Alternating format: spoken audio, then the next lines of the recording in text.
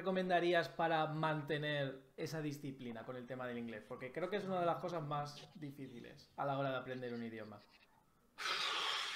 Sabes que... Entramos ya aquí, creo que más personal de cada uno. entiendo que no hay una fórmula mágica. No, no, no, no, para nada hay una fórmula mágica. Y luego mm, hay muchas personas que fallan en la disciplina y que ven a su vecino muy disciplinado y dicen, bueno, es que este tiene un don. ¿sabes? Eh, tiene, tiene esa característica en su vida que es una persona disciplinada. No, también ellos sufren. Claro, También no, ellos no saben lo que hay detrás de cada esfuerzo. ¿eh? Sí, por supuesto, por supuesto. Hay quien tiene más hambre que uno. Uno, mm. pues probablemente no necesita esto y tiene una seguridad y una estabilidad fuera del, de aprender el idioma. Y hay quienes no, y hay quienes realmente lo necesitan.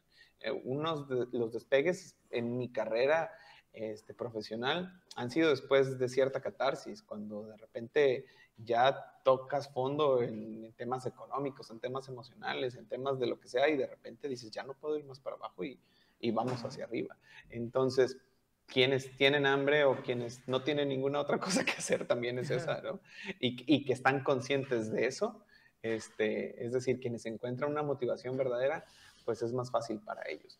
La motivación no es otra cosa más que más que despertarse todos los días y saber cuál es tu objetivo, ¿no? A dónde quieres llegar, tenerlo bien claro y saber que la suma de muchos esfuerzos dan, dan, dan, este, mm. resultados. Sí, yo te puedo decir, en mi, yo hablo desde mi punto personal, yo es cuando este año, cuando yo me he dado cuenta, ¿no? De, oye, yo necesito inglés para seguir avanzando. Y yo ahora mismo estoy como en un punto de que he estado, me saqué en su día el B2, ¿vale? Hace un año o dos. Pero ahora mismo me, ponías, o sea, me ponías eh, una película o lo que sea y decía, es que no me he enterado de nada. y entonces ahora lo que he hecho es, como también estoy un poco perdiendo peso, etcétera, y, y me lo he tomado un poco con filosofía, decir, vale, voy a ir poco a poco.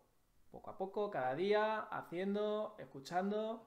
Me falta un poco el tema de hablar, que eso lo tengo que trabajar, pero por tema de tiempo, lo tengo que sacar.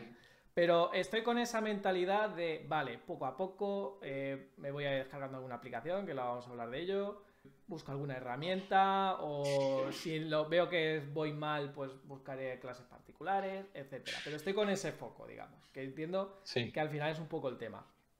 Acabo de hablar de una situación como muy, muy, muy individualista, ¿no? Tú tienes que darte cuenta y tienes que tener tus objetivos y eso, pero realmente es que a veces amanecemos motivados y otros amanecemos bien downs, ¿no? Y, es algo de nuestra generación, este tema de la salud mental y que hemos tratado y estamos batallando con todo esto, con toda la, ansiedad que nos ha dejado el COVID, que nos ha dejado estas situaciones de las, de, las crisis económicas internacionales y todo esto, y, muchas situaciones culturales que probablemente no vengan al caso. Pero algo que funciona y que funciona muy bien es tener una comunidad. ¿Sabes? Como no sé si alguna vez has tenido la necesidad de ir al psicólogo o, no sé, por necesidad o, por nada más salud emocional, pero te recomiendan tener un grupo de apoyo. Un grupo de apoyo que si te viene la ansiedad, que si te viene la depresión, ellos mismos te, te ayuden a salir de eso.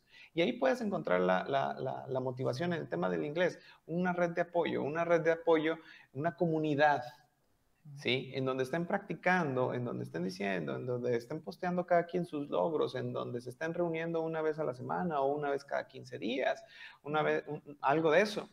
Eso también te ayuda. Te ayuda a levantarte. Porque, mira, tú lo acabas de decir, creo, creo que es un poco referente a eso, eh, el perder peso. Yo no sé cuál sea la situación y, qué es lo que hay atrás que te lleve a esto. Pero, por ejemplo, yo te hablo de mí, no sé si alguna vez has probado el keto las dietas keto, sí. Ah, no, ah, ok, es, es, es, una manera de hacer dieta y de comer. Y yo tengo, por ejemplo, este, seis semanas haciéndolo y llevo seis kilos perdidos. Entonces, eh, este, obviamente combinándolo con un poco de ejercicio y tal, pero es, es, es este, tu cuerpo entra en cetosis y hay un déficit calórico natural y entonces empieza a perder peso. Pero yo no lo podría hacer si no tuviera mi mujer que me ayuda y me cocina, que me ayuda en ese sentido.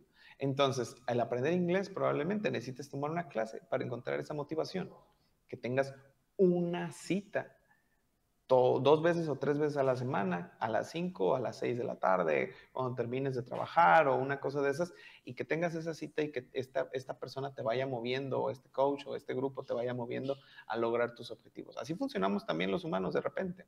Cuando estamos en grupo nos movemos más fácil que estar solo, es solo contra el mundo. Es decir, ahora me voy a agarrar Duolingo y voy a estar este, 20 minutos diarios y a veces no tienes ganas.